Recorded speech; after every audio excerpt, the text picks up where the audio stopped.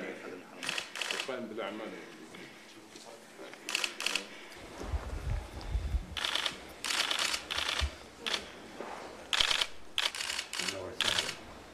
you very much, Your Majesty, for affording me this opportunity to call upon you. And, and course, of course, let me bring greetings from President Trump, who wanted to ensure that I extend to you uh, his warmest regards.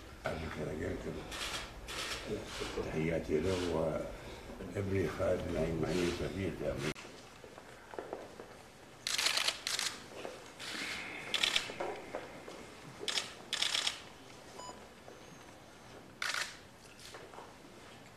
Thank you.